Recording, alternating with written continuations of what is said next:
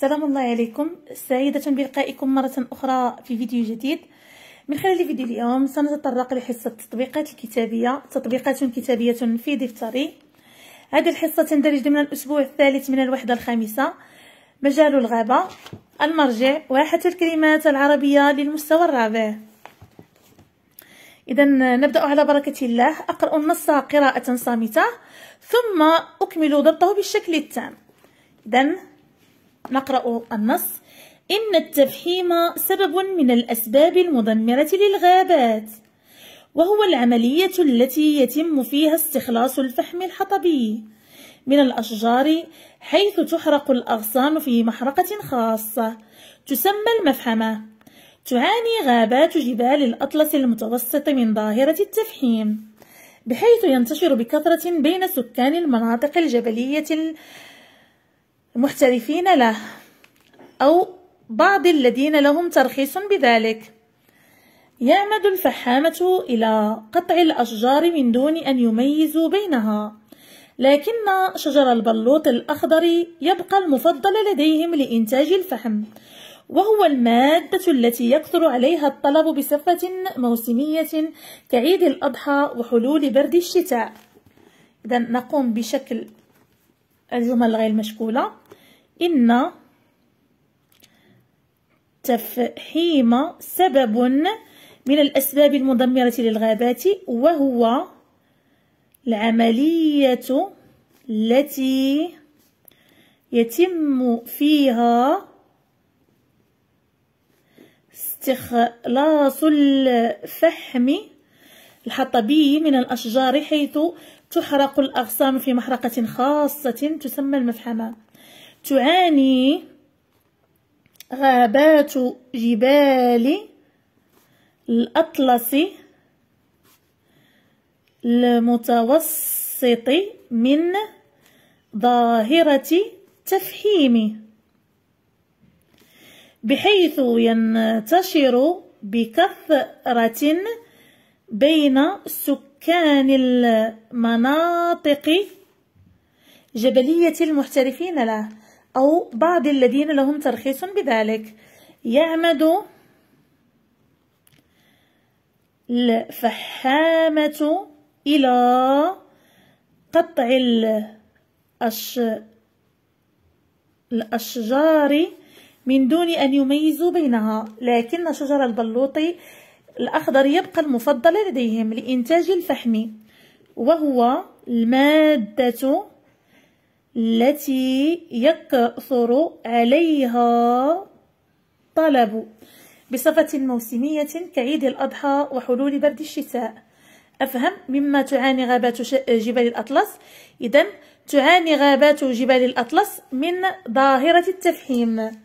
من ظاهرة التفحيم. تعاني غابات جبال الأطلس من ظاهرة التفحيم. السؤال الثاني لماذا يقطع الفحامة شجرة البلوط شجر البلوط الأخضر؟ إذا يقطع الفحامة شجرة شجرة البلوط أو شجر البلوط الأخضر لأنه المفضل لديهم لإنتاج الفحم. يقطع الفحامة شجر البلوط الأخضر لأنه المفضل لديهم لإنتاج الفحم. أطبق أستخرج من النص ثلاث نكرات وثلاث معارف ثم أصنفها في الجدول. إذا ثلاث نكرات الأسماء النكرة. محرقة غابات ظاهرة. الأسماء المعرفة. التفحيم معرفة بالألف واللام. ظاهرة التفحيم معرفة بالإضافة. المدمرة معرفة بالألف واللام.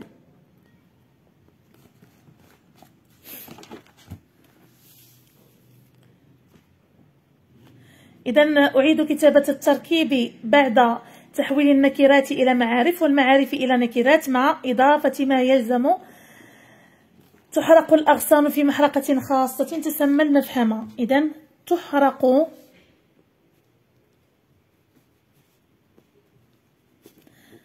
أغصان في المحرقة الخاصة.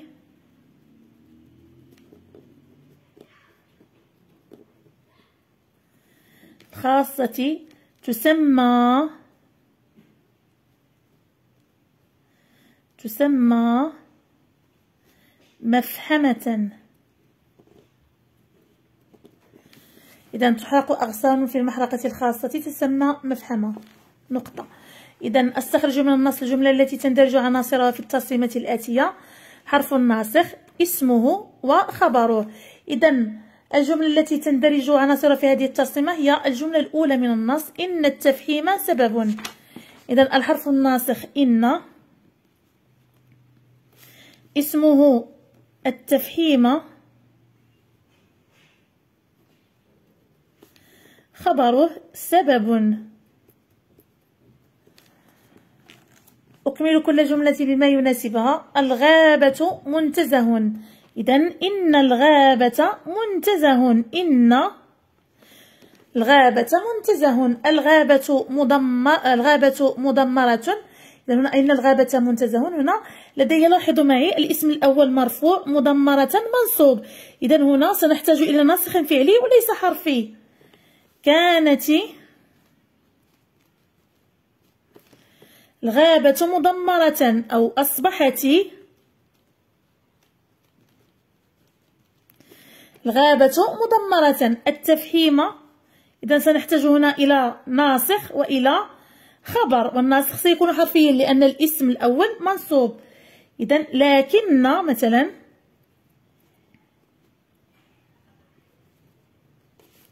تفهيم خطير. لأنه يستنزف الغابات. لكن التفهيم خطير. مسموحا. إذا